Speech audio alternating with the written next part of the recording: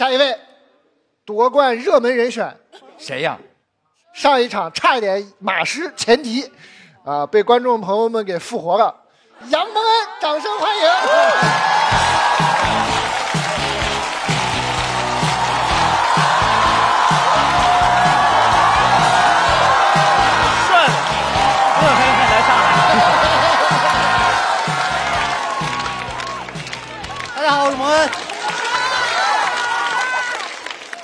都比到这份儿上了，你就别跟我说复活或者那个夺冠的事儿，行吗？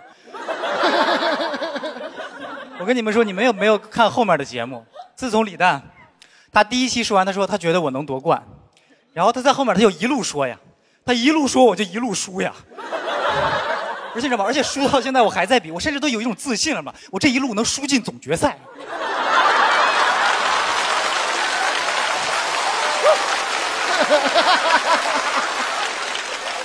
我这两天写不出来，我真的快疯了。然后女朋友跟我跟我说，她说我有办法。我说什么办法呀？她说你别管了。我说啊。然后第二天，她就买了两张回北京的火车票。她说那我是那是我梦开始的地方，她领我去我第一次上开放麦、第一次商演的地方。我跟你说，我当时在北京心情真的很复杂，我感觉我就是可云，我的爱人在帮我找回忆。我跟你说，我在东我他我怕我在大街上真的突然就疯了，就我的段子呢？我的段子呢？我那些幽默的段子呢？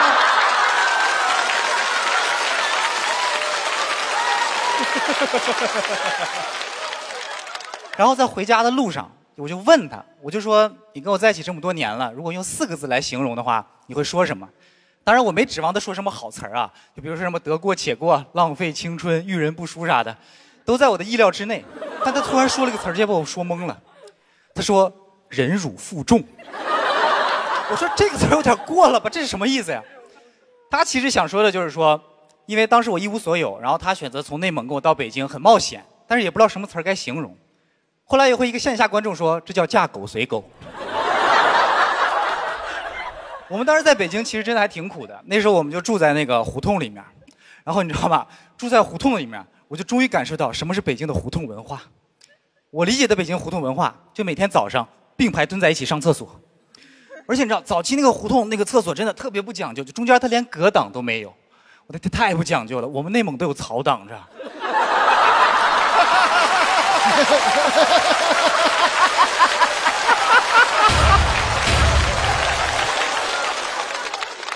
而且你还会碰见那种隔壁住的胡同大妈。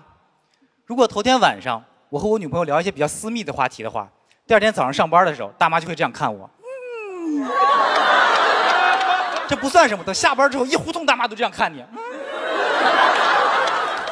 但是人总不能不说话吧？然后晚上只要声音稍大一点，我就跟我女朋友说：“嘘，小点声，隔壁能听见。”隔壁传来声音，大妈听不见。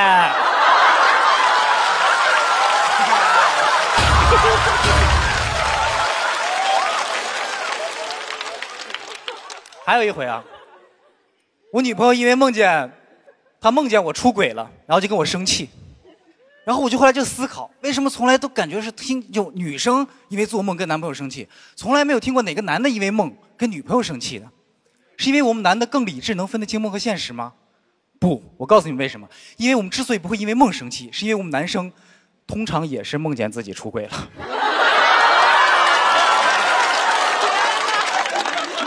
你这玩意儿你怎么生气？你怎么跟人生气？哎哎，醒醒醒醒！我都出轨了，你还有心思睡觉呢啊？哈，你果然不爱我。我跟你说，这都是男生心里的秘密，没人会跟你们说这些的。我今天我杨梅我就坐实了，我就是男人的叛徒。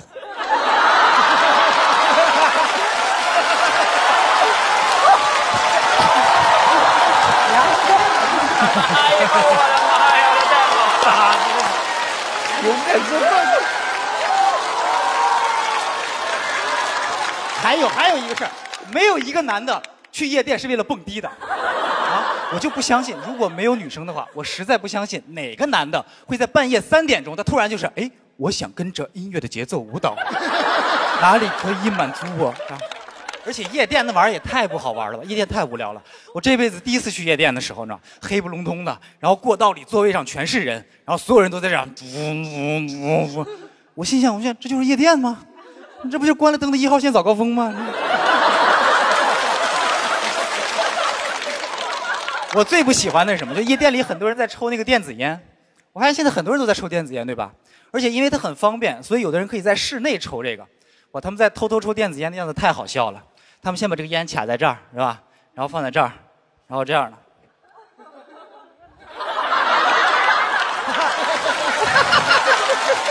眼睛瞪你，突然开始冒气儿了。而且你知道那个眼神，你往往就特别自信，你知道吗？就好像在跟你说：“看见没有，老子会冒烟。”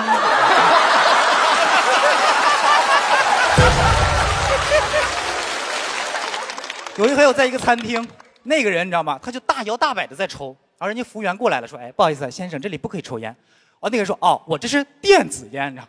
他那口气很轻蔑，好像说你土老帽不懂高科技一样。这我要是那个服务员，我上去就啪打他一拳。然后他说：“哎，你不可以打人呀！”我说：“我没打人，我这是量子力学。”而且而且那玩意儿一点也不酷呀！我真的不明白它酷在哪里。它在我心里的形象还不如那些传统烟。至少比如说一些电影里面的形象桥段嘛，教父那样的，对吧？叼个大雪茄，然后。Why did you call the police? Why did you call me first? 你至少感觉这是一个老大，对吧？但是你们想象一下，如果教父抽电子烟的话，啊，这玩意儿这么长这么扁，塑料质感，含在嘴里跟叼了个 U 盘似的。你还觉得你还觉得他是 Godfather 吗？你会觉得我这 Godfather 得了阿兹海默了吧？是吧？你都不想尊重他。你都想哄着他，来来来，老爷子老爷子，把嘴里面的 U 盘拿出来，对对对对，不能吃不能吃呢。老头流的哈喇子呢，哦，我的烟弹漏油了。谢谢大家，我是蒙恩。好，喜欢蒙恩的朋友不要忘记为他投票。这个有劲儿，三太上劲儿了。二一，请投票。这个回北京找状态是管用哈，找回来了，你的你的你的幽默回来了。我这幽默本来留着后面用的，结果发现差点用不上。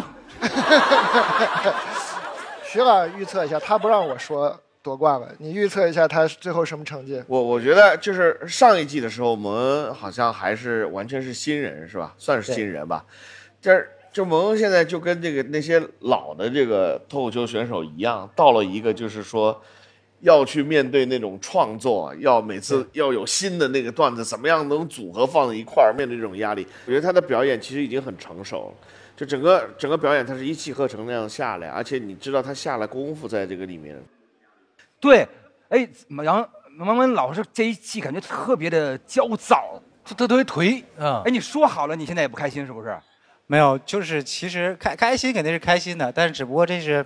一路相主要是相比于去年吧，去年确实自己作为新人很顺，就像那种感觉新手手撞那种感觉，然后今年感觉是自己真正的碰见了一个那种新秀强也好，或者什么样的也好，这就是这个东西第二年才会让你感受到它的压力。今年压力大一点，我就不预测了啊，咱就直接来看票，全部的拍灯十票，加上现场观众来看杨蒙恩的成绩，能到九十。这次对自己的表现还是满意的，应该是其实录了这么多期来最满意的一次。我感觉其实是给自己一个交代。直接来吧，直接来吧，直接来吧，这九十了。觉得他终于回来了，他其实演演出一直有一个劲儿，就想干翻世界的那种感觉。他今天终于站起来了。